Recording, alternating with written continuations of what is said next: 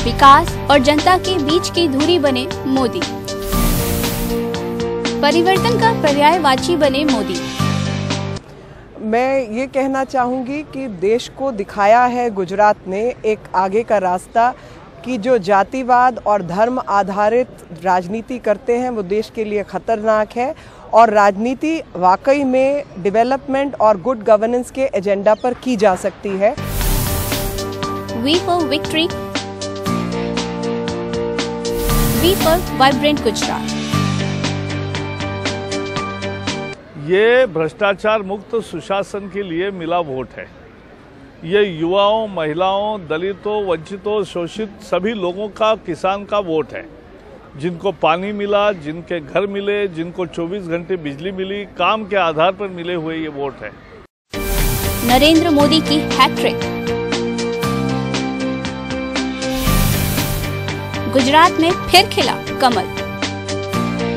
मैं इतना ही कहूँगी कि पहली बार हमने एक ऐसा नेता देखा है जो अपने कास्ट कार्ड का इस्तेमाल नहीं करता, जो ये नहीं कहता कि मैं किस जाति से हूँ, मैं किस धर्म से हूँ, उसके आधार पर आप वोट करो।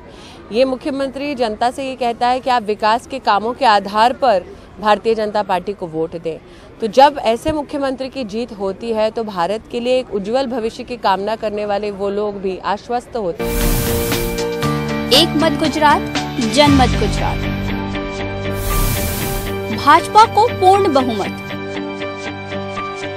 ये नरेंद्र मोदी जी ने एक इतिहास रचा है और कुल मिलाकर के देश में इस बात को साबित किया है कि सुशासन के साथ और पारदर्शिता के साथ विकास जब होता है तो उसको लोग समर्थन करते हैं। देखिए सबसे बड़ी बात है गुजरात ने एक मॉडल स्थापित किया है न केवल विकास का बल्कि इस बात का भी कि जो मुख्यमंत्री और जो नेता और जो पार्टी काम करेगी, वो बार बार जीत कर आएगी जी।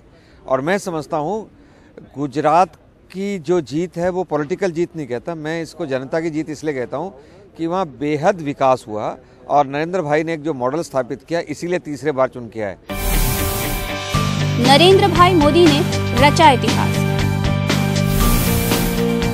गुजरात की जनता ने एक बार फिर चुना विकास।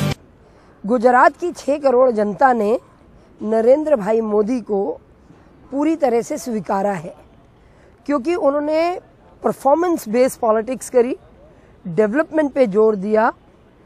बहत्तर प्रतिशत जब वोट पोल हुआ था, तभी क्लियर था कि गुजरातियों ने मन बनाया है कि वो अपने सीएम को कुछ और बड़ा देखना चाहते हैं। Politics of development demolish the politics of defamation defamation करने वालों की पॉलिटिक्स को डेवलपमेंट की पॉलिटिक्स ने डिमोलिश किया है।